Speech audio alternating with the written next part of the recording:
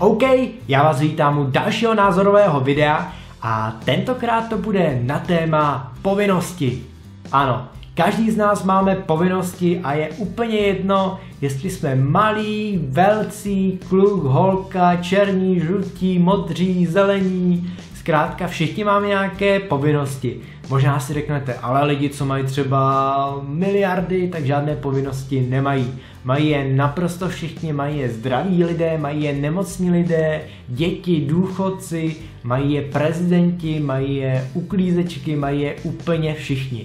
A tohle téma je takové docela zajímavé a proto bych chtěl o něm pohovořit. Teď to vezmu trošku časově. Když se narodíte, tak máte takovou tu povinnost se naučit všechny ty věci, abyste dokázali v tomhle krutém světě přežít, to znamená chodit, mluvit, komunikovat, jíst, skakat, čůrat a podobné věci. Pak když se tohle naučíte, tak máte povinnost se naučit další věci, jako je psát, číst, počítat ohledně školy. Pak máte povinnost se naučit pracovat v kolektivu, komunikovat, s lidmi, pak máte povinnost chodit na nějakou další školu, abyste se naučili něco, co budete potřebovat k vykonávání svého budoucího povolání. A pak máte povinnost jít do práce, vydělávat peníze. A pak máte povinnost z těch peněz, které vyděláváte, platit třeba nájmy nebo postavit si dům a další věci, které potřebujete k životu. A ten, ta povinnost chodit do té práce je strašně dlouho. A pak je tady povinnost, že jo, najít si partnera, partnerku a založit s ní rodinu a nějakým způsobem uh, žít dál a naplnit to, co se od vás očekává. No pak je povinnost ty děti vychovat a takový kruh pořád dokola, dokola, dokola až nakonec máte povinnost umřít, protože vaše tělo už eh, jakoby dosloužilo a už nemá co dalšího eh, na tomhle světě nabídnout tak to je taková ta moje myšlenka toho kruhu uh, povinností, kterých se zkrátka nikdy nezbavíte. V životě nebude okamžik, kdy nebudete mít žádné povinnosti. Možná někdy budete mít ten pocit, pocit jako že, pohoda, do školy nejsou žádné písemky, rodiče po vás nic nechtějí, diváci na YouTube po vás nechtějí, abyste natočili další video přítelkyně, přátelé, nikdo po vás nic nechce, tak si řeknete, jo, jsem svobodný, teď opravdu nemám žádné povinnosti. Ale ty povinnosti jsou tady pořád a je třeba si to uvědomit.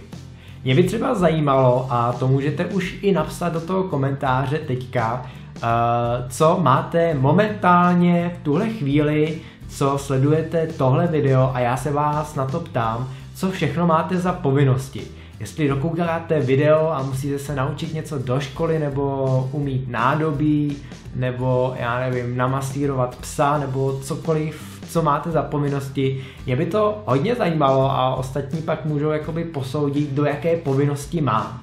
Když je vždycky řeč o tom YouTube, tak i já jako YouTuber mám samozřejmě povinnosti vůči vám. Mám takovou povinnost eh, vydávat videa, povinnost vydávat je v určitém určité podobě, to znamená, abych měl třeba šátek, abych byl na tomhle uh, místě a abych mluvil o tom, o čem jsou ty předchozí díly, protože mám povinnost uh, držet se toho formátu OK, který jsem nastolil a ta povinnost nekončí. Pak mám povinnost uh, to video nahrát na ten internet, povinnost dát náhledovku, která bude eh, podobná těm předchozím, aby se držel styl, povinnost na vás reagovat, odpovídat a tohle všechno eh, je jenom zlomek toho, co, co má člověk za povinnosti.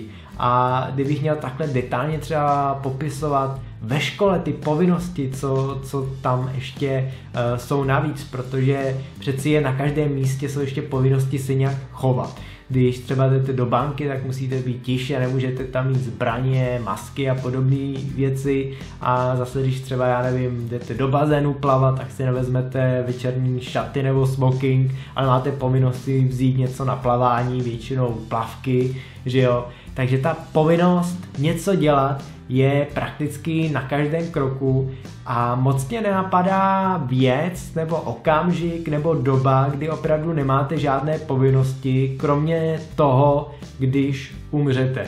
protože to už ty povinnosti opravdu nemáte, ale zase ta povinnost se přesune třeba na vaše děti, kteří mají povinnost vám udělat pohřeb, rozloučit se s, ná, s vámi a pak mají povinnost eh, třeba eh, chodit na ten hrob, dávat tam ty kitky, starat se o něj a ještě se za hroby se platí nějaké poplatky a tohle všechno se zkrátka jakoby kupí. A i když prostě tady nebudete, tak taková ta povinnost vůči vám pořád tady bude. Je to hodně k zamyšlení, co se týče témata povinnosti a mě by docela i zajímalo z vaší strany, a co všechno vy považujete za povinnost a jestli je taková ta moje myšlenka, kterou jsem tady dneska ze sebe dostal, jestli v sobě něco má, anebo je to naprostá blbost a když chcete, tak nebudete mít povinnosti žádné. Uh, věřte ale, že třeba i ten bezdomovec, který svým způsobem je volný, nemusí nic řešit, tak ty povinnosti má a pokud je nebude plnit, tak se stane to, že třeba umře a ta povinnost ho pohřbít se bude muset přesunout na někoho jiného. Když to nebude rodina, tak to bude třeba město nebo prostě kdokoliv jiný, ale ta povinnost tady bude zkrátka pořád existovat. Tak jo, nezapomeňte napsat komentář na tohle téma, já budu za to jedině rád. Napište, co chcete ohledně tohoto tématu. Samozřejmě dejte i like, pokud vám to něco dalo či nedalo a mějte se nejfajnově, mějte se krásně a sayonara.